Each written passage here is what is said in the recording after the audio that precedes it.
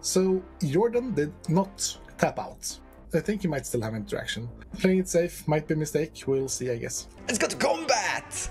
Jordan, here we go. You don't have blockers. Sorry, Jordan, you're dead. So I was right about Jordan having interaction in hand. He had three counterspells, I believe, and the mana for it. But helpfully, Mons killed him.